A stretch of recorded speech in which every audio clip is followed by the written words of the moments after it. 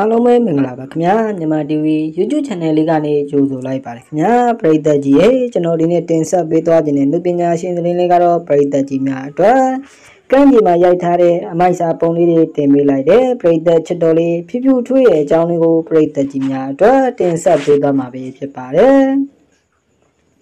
ဖြူဖြူထွေးကတော့အောင်မြင်လျက်ရှိနေတဲ့အမှုပညာရှင်တွေထဲမှာတယောက်ပါဝင်ဖြစ်ပြီးပရိသတ်တွေရဲ့ချစ်ခင်အားပေးမှုကိုအခိုင်အမာရယူထားနိုင်ကြတဲ့သူလေးပဲဖြစ်ပါတယ်။အမှုပညာလုပ်တွေကိုဆက်လက်လုပ်ကိုင်နေပြီးချစ်စရာကောင်းတဲ့အမှုကျင်းလေးတွေကိုလည်းပိုင်ဆိုင်ထားတဲ့သူမှကတော့တဖြည်းဖြည်းပုံမအောင်မြင်နေတာပေါ့ခင်ဗျာ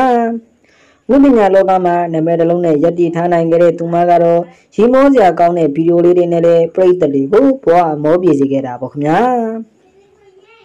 ကြောင်ညာတွေကိုလည်းရိုက်ကူးနေခဲ့တဲ့သူမကတော့အလှပုံရိပ်လေးတွေကိုလည်းလူမှုကွန်ရက်စာမျက်နှာထပ်တင်ပေးလေးရှိပါတယ်